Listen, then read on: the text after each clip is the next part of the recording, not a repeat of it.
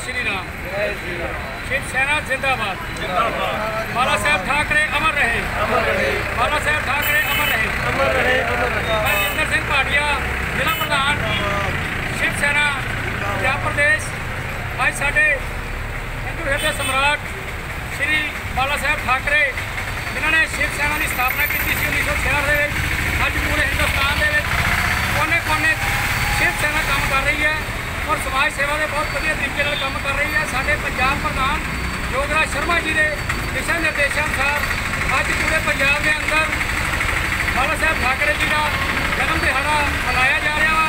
ਜਿਸ ਦੇ ਵਿੱਚ ਅੱਜ ਅਸੀਂ ਸ਼ਿਮਲਾਪੁਰੀ ਵਿਖੇ ਸਾਡੇ ਜ਼ਿਲ੍ਹੇ ਦੇ ਸੀਨੀਅਰ ਵਾਈਸ ਪ੍ਰਧਾਨ ਜਿੰਦਰ ਅਗਰਵਾਲ ਜੀ ਦੇ ਸ਼ੌਕ ਦੇ ਉੱਤੇ ਬਾਲਾ ਸਾਹਿਬ ਠਾਕਰੇ ਜੀ ਦਾ ਜਨਮ ਦਿਨ ਮਨਾਇਆ ਔਰ ਲੱਡੂ ਵੰਡ ਕੇ ਸੱਤਾ ਦਾ ਮੂੰਹ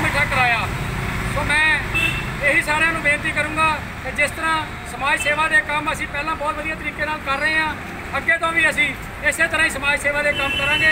ਅੱਜ ਅਸੀਂ ਹੋਰ ਵੀ ਵੱਖ-ਵੱਖ ਥਾਵਾਂ ਦੇ ਉੱਤੇ ਬਾਲਾ ਸਾਹਿਬ ਠਾਕਰੇ ਜੀ ਦਾ ਜਨਮ ਦਿਨ ਮਨਾਵਾਂਗੇ। ਜੈ ਕਰ ਵੀਰ ਬਜਰੰਗੇ। ਅੱਜ ਬਾਲਾ ਜੀ ਠਾਕਰੇ ਦਾ ਜਨਮ ਦਿਨ ਹੈ। ਮੈਂ ਸਾਰੀ ਸੰਗਤ ਨੂੰ ਉਹਨਾਂ ਦੇ ਜਨਮ ਦਿਨ ਦੀ ਵਧਾਈ ਦਿੰਦਾ ਵਾਂ। ਉਹਨਾਂ ਦੇ ਨਿਰਦੇਸ਼ਾਂ ਅਨੁਸਾਰ ਅਸੀਂ ਸਾਡੀ ਜਿਹੜੀ ਸਾਰੀ ਟੀਮ ਆ, ਅਸੀਂ ਕੰਮ ਕਰ ਰਹੇ ਆ ਜੋ ਸਮਾਜ ਭਲਾਈ ਦੇ ਕੰਮ ਆ ਅਸੀਂ ਕਰਦੇ ਆਏ ਆ ਇਹ ਕਰਦੇ ਰਵਾਂਗੇ। ਜੋ ਉਹਨਾਂ ਦਾ ਸਾਡੇ ਸ਼ਿਵ ਸੈਨਾ ਦੇ ਪ੍ਰਧਾਨ ਪੰਜਾਬ ਪ੍ਰਧਾਨ ਜੀ ਸ਼ਰਮਾ ਜੀ ਉਹਨਾਂ ਦੇ